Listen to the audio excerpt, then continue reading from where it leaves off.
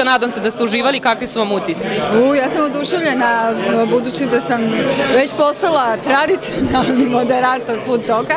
Ovog puta je zaista bilo zanimljivo, sve je pojedeno, popijeno, znači da, je, da smo uspeli u, u tome da dokažemo da je vino intelektualni deo hrane, obeda.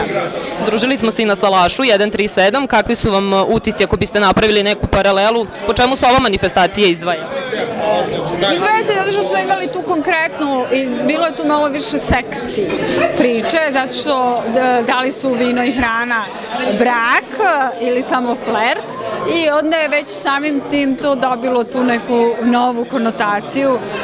Na Salašu je bilo mnogo ozbiljnih tema i ova je naravno vrlo ozbiljna, ali čim se tu govori o nekoj vezi, dvoje su se tako smuvali, onda samim tim je za mene zanimljivije, a mislim i za gledaoce, čitaoce, slušaoce, šta god.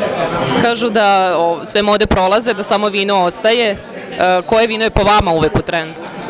Pa pre svega šampanjac koji takođe spada u, ajde da kažemo, penušava vina, e, zato što, što bi rekla, zaista e, žena koja je znala o čemu govori, e, jedino posle tog vina žena ostaje lepa, e, ali e, ono što sam već ovde e, ponovila, e, francuskinje, kada ih pitate da li piju, one se namršte, kaže ne, samo vino i vodu.